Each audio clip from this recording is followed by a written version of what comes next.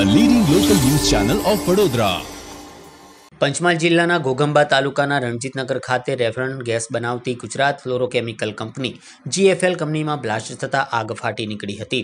આ ઘટનામાં પાંચ કામદારોના મોતની આશંકા છે અને જાનહાનિ હજી વધી શકે તેમ ઘટના સિવાય હતી. આગની ઘટનામાં અનેક કામદારો ઇજાગ્રસ્ત થયા છે. ઘટનાની જાણ થતાં જ હાલોલ કાલોલ ગોધરા તેમજ ખાનગી કંપનીના ફાયર ફાઇટરોએ ઘટના સ્થળે પહોંચીને આગ ઉપર કાબૂ મેળવવાના પ્રયાસ હાથ ધર્યા છે. રણજીતનગરની કંપનીમાં થયેલા બ્લાસ્ટના ધડાકા દસ કિલોમીટર દૂર સુધી સંભળાયા હતા. પાંચ કિલોમીટર સુધીના વિસ્તારમાં વાહન વ્યવહાર અને સામાન્ય લોકોની અવરજવર બંધ કરી દેવાઈ છે. સેફ્ટી કિટ પહેરીને ટીમો કંપનીની અંદર પ્રવેશી છે અને તપાસ હાથ ધરવામાં આવી છે.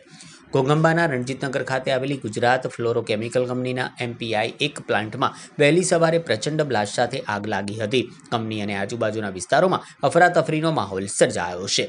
આગ બાદ બ્લાસ્ટની ઘટનામાં મોટી સંખ્યામાં કામદારો ઇજાગ્રસ્ત થયા છે. ભયાનક ઘટનામાં મોટી સંખ્યામાં મોતની આશંકા સેવાઈ રહી છે. ઇજાગ્રસ્તોને હાલ હાલોની ખાનગી અને રેફરલ હોસ્પિટલમાં લઈ જવાઈ રહ્યા છે.